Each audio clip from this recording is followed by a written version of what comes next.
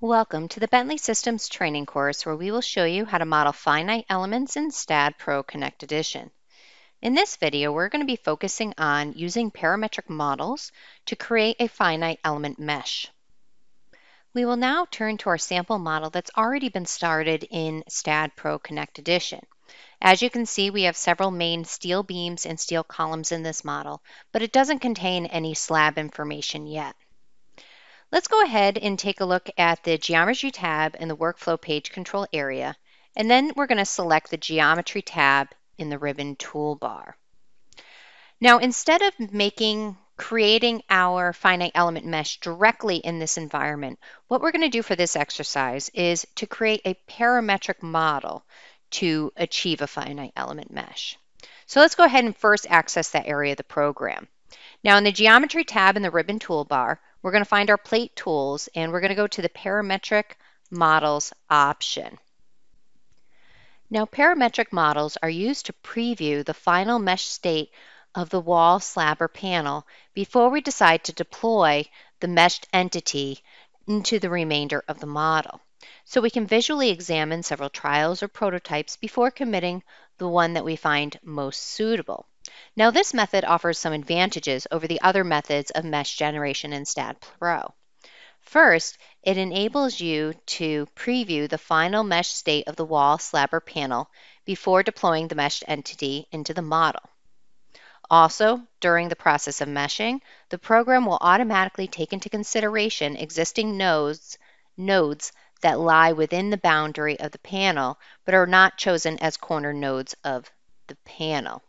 And then finally, it allows for the definitions of lines on the surface along which nodes should be created. So you get a little bit more control. Now the first step into creating a parametric model is to go to your parametric models dialog over at the right hand side of your page and click on the add button.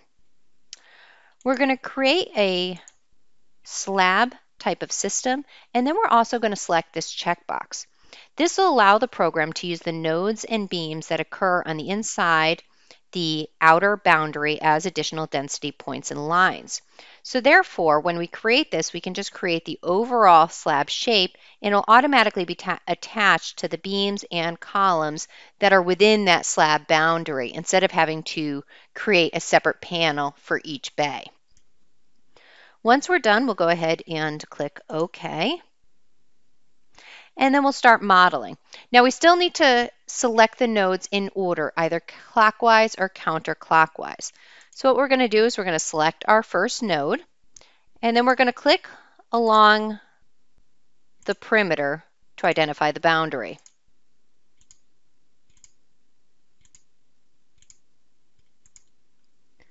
Once you've clicked your last node, you could either click back at the start or just right click to close your polygon. Next, we're going to be asked to specify some meshing information. We're going to go ahead and just select for now standard meshing, and we're going to prefer quadrilateral elements.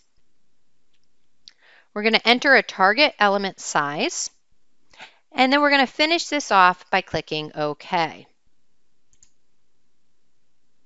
Now at the same time, we have the option to add an opening within this slab boundary. And let's go ahead and click on yes. We're going to select a polygonal or a circular opening, and then you'll click OK.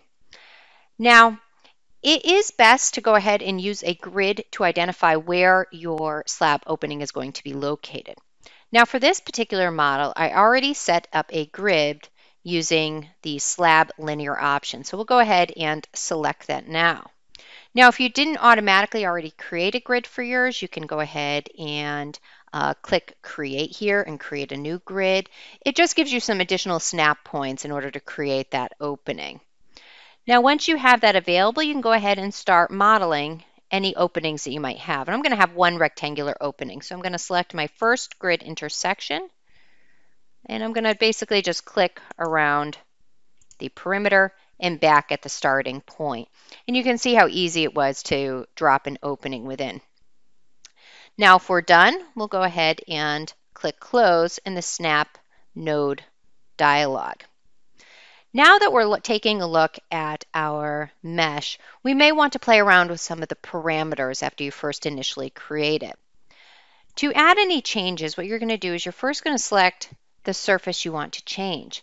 Now, parametric models do allow you to create multiple different scenarios and then only commit one back to your model. So this is a great way to select different options. Now, we only have one parametric model, so I'm going to select this first one. And then I can come down here and make some changes. Like say, for example, I want to change it to basic meshing. It's automatically switched me over to triangular. And maybe I want my target element size to be 10 feet.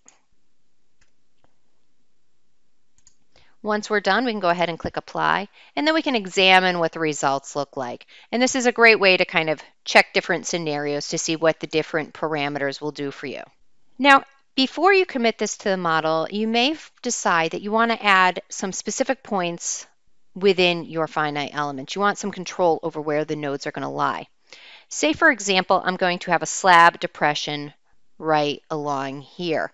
So I'm going to want to basically have a line of nodes that long, lines up along there, and I don't want any finite elements to cross that line to basically span on both sides. So I can add additional density points or density lines. So I'm going to come down here and here's my two options. I'm going to say add a density line. So I'm going to highlight density lines, click the add button. Again, I'm returned back to the option of using a grid. And then I'm going to create a density line. And then you can see how easy it is to control. Now this might be a great way to control if you're going to have some type of slab depression where the parameters between one side of the finite elements to the other side might be slightly different. It's also a great way to maybe line up some lines where you're eventually maybe going to be placing some loads on this slab um, to help make that modeling and analysis process better. Now, if we're happy with the mesh that we've created, we are now ready to commit this to the main model. Now, if you're not happy, you can, of course, make any additional changes, or you can create other parametric models to examine what those would look like as well. I'm going to go ahead and commit this back to the, my, my model, and I'm going to click on the Merge Mesh button. And now you can see that my mesh has been sent over to STAAD Pro.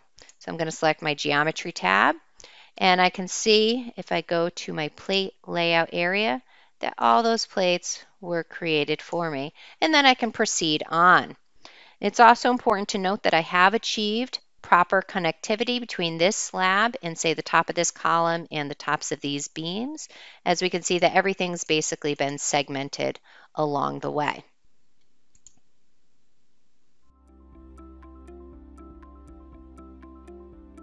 If you found this video helpful, please give it a like. If you want to see more such series, consider subscribing to our channel. Thank you and see you next time.